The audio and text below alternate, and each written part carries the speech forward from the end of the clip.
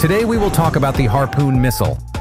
The Harpoon missile is one of the deadliest weapons in the U.S. Navy's arsenal. Developed in the 1970s, it has undergone several enhancements and improvements over the years, making it one of the most advanced anti-ship missiles in the world. Harpoons can be launched from ships, submarines, and even airplanes. It is designed to penetrate enemy defenses and engage its targets with deadly precision. Capable of hitting targets more than 70 miles away, this precision weapon can take out ships, ground targets, and even aircraft. With its advanced guidance system, the Harpoon can strike with pinpoint accuracy, gave disastrous results. The Harpoon missile is an essential part of our naval arsenal. It gives us the ability to strike targets at long distances and cripple enemy ships and installations. It's a game changer on the battlefield.